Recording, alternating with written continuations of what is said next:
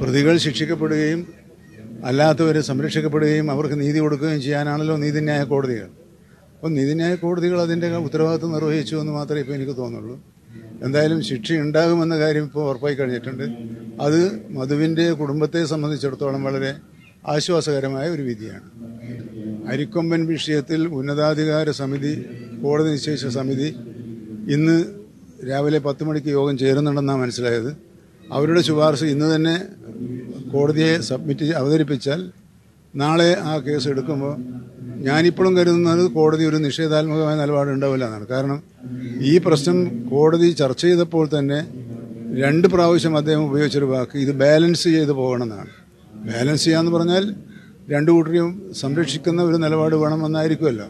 ആ സ്പിരിറ്റിൽ നിന്നുകൊണ്ടുള്ള ഒരു ഉത്തരവ് പ്രതീക്ഷിക്കുന്നുണ്ട് ഞാൻ.